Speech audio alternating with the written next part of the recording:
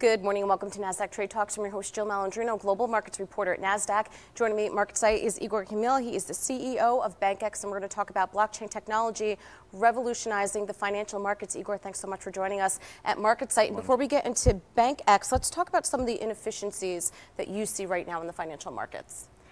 Yeah. Good morning, everybody. So there is a bunch of them, especially in securitization. So if you see the whole process of uh, bringing capital from public markets to the end recipients, it will take a lot of uh, a lot of uh, intermediates and a lot of inefficiencies. And uh, so for securitization, you need generally about eight different participants. You need a lot of infrastructure, and this brings the scale of this industry. It requires you need a scale in order to make this securitization.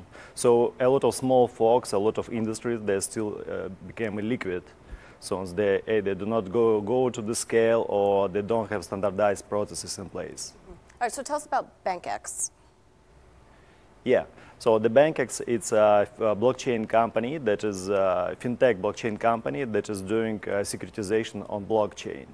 So we are building enterprise-ready stack to make the, to apply uh, token issuance, security token issuance for traditional assets and enterprises. So what's the main product and what void are you looking to fill within the fintech space?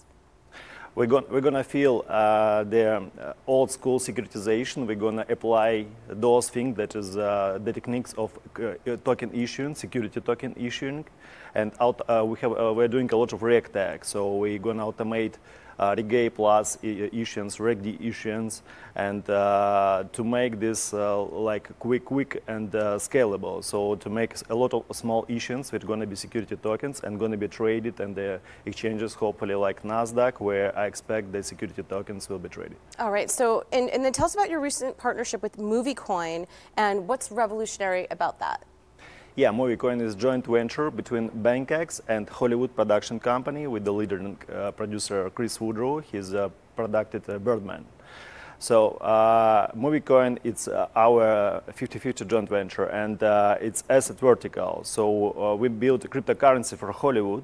It's used to finance movie. It's used also. Uh, we're gonna. It's gonna be used to buy tickets to the movie. So to both consumers and enterprises.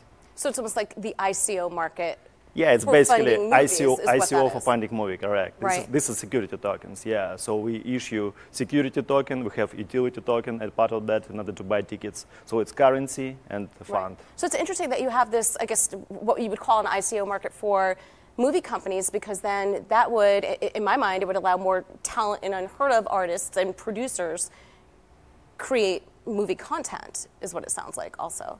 Yeah, this democratizing uh, right, markets. Exactly. It's like decentralized studio. Yeah, mm-hmm. that's what we're doing. All right. Well, sounds super exciting. Thank yeah. you very much for joining us at MarketSite, and thank you for joining me. I'm Jill Malandrino, Global Markets Reporter at Nasdaq.